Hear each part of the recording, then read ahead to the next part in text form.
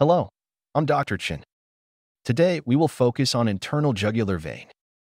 We will go over scanning and positioning. To start the scan, where should we place the probe? We can place the probe on the clavicle. Place it horizontally. Use common carotid artery as our landmark. IJV is usually on the lateral side of the CCA. Let's choose carotid for the preset and start scanning in the transverse view. We will first find the common carotid artery. Skin up and down on the lateral side of CCA. The black round shape in the middle of the screen is what we're looking for, the IJV. It will move along with breathing.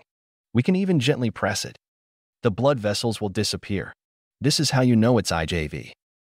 This is a blood vessel for the central vascular duct. So it's better to scan from top to bottom. Let's scan down a little. When the probe is closer to the clavicle, tilt the probe in the opposite direction. You can see that it is aligned with the subclavian vein and or the brachiocephalic trunk. This technique is also an important scanning step for when we are operating PICC. After scanning in transverse view, we can start scanning in sagittal view.